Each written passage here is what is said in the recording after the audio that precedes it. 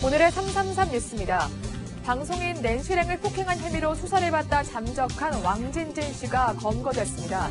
그가 잡힌 곳은 서울 서초구의 한 노래방. 이곳에서 숙식을 하면서 수배 와중에도 지난달 28일까지 유튜브 방송을 해왔습니다. 다른 나쁜 그 의도에서 영장 실시 심사를 뭐 제가 실패하고 회피하고 하는 그런 것은 아닙니다. 뭔가 이 혼란스러운 이 상황 속에서 저도 많이 힘들었고 검찰은 왕 씨가 두 번이나 영장 실질 심사에 출석하지 않고 연락이 끊기자 지명 수배를 내렸습니다. 구속영장도 곧 청구할 계획입니다. 오늘 새벽 2시가 되어서야 가수 승리가 귀가합니다. 조사 시작 16시간만, 특히 17번째로 경찰에 불려 나왔습니다. 회사 쪽 조금도 횡령하지 않았다는 입장이신가요? 2억원 어디에 썼습니까?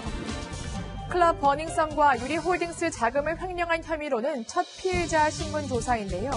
경찰은 조만간 구속영장을 신청할 계획입니다. 방탄소년단이 미국 빌보드 뮤직 어워즈에서 한국 가수 최초로 이관왕에 올랐습니다. 세계적인 그룹들을 제치고 톱 듀오 그룹상과 톱 소셜 아티스트상을 모두 거머쥔 겁니다. And we're still the same boys from six years ago. We still have the same dreams. We still have the same fears. We still have the same thoughts.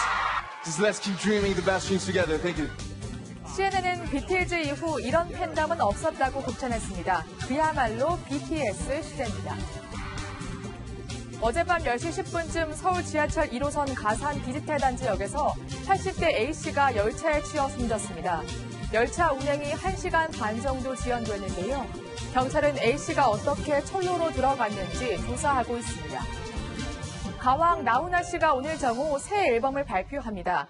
14년 전 발표한 벗을 이은 앨범으로 타이틀은 버투. 나 씨의 음악벗 200여 명이 참여해 제작됐습니다.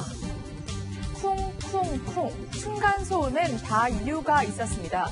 감사원이 지난해 말 입주한 아파트 191세대의 층간 소음을 측정한 결과 사전 인증을 받은 바닥재 96%의 성능을 신뢰하기 어렵다고 판단했습니다. 국토부는 바닥재 전수 조사에 나섭니다.